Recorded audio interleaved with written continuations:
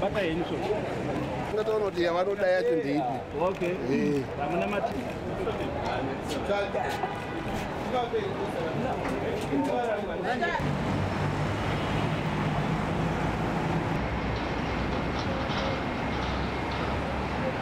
So uh, we need to ensure that we do the things that are right.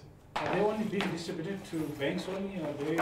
We, we, are, we want to build confidence in Zimbabwe. This, this country is lacking two things lack of confidence and lack of capital. The two are related. Because once you've got uh, confidence, then capital will come to Zimbabwe and investors can come to invest in Zimbabwe when they know that the money that they're utilizing is only one currency unit as opposed to continue to dream about uh, the old currency.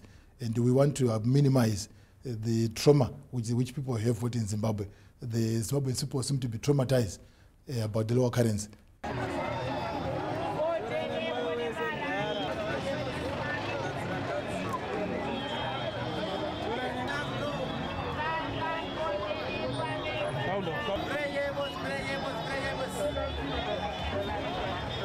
it doesn't address the structural issues that are affecting the economy.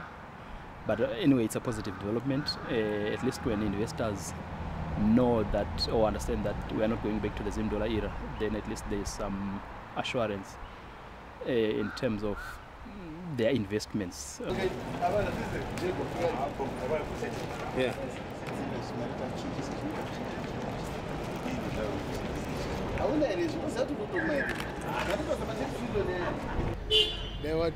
tora pepa otherwise